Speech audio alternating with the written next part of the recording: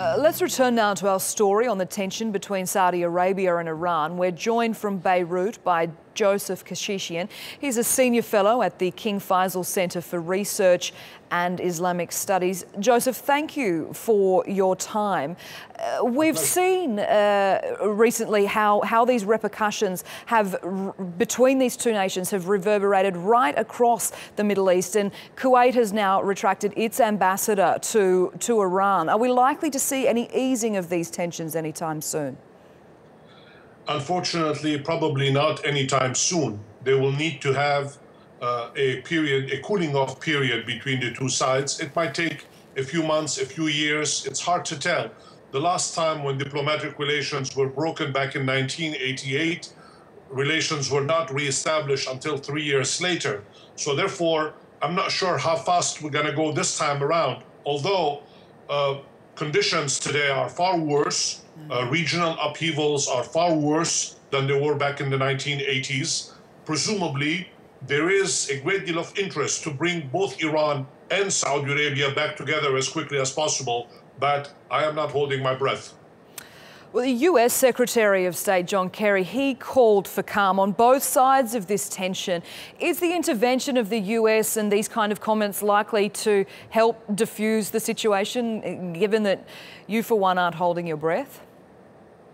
Well, one hopes that when large powers like the United States and others speak, that perhaps they carry some influence, although the world in which we live today is far different from the ones in which these major powers gained their influence and, and power around the world. So therefore, it's going to be much more difficult. It's not sufficient to simply for a Secretary of State or a foreign minister of a leading power to utter a few good wishes so that people put their differences aside and come around the table and negotiate. I think a lot more needs to be done. In this particular instance, the United States and the other P5 plus one countries, uh, the permanent members of the Security Council in Germany, have tried to drag Iran back from its uh, isolation back into the civilized world.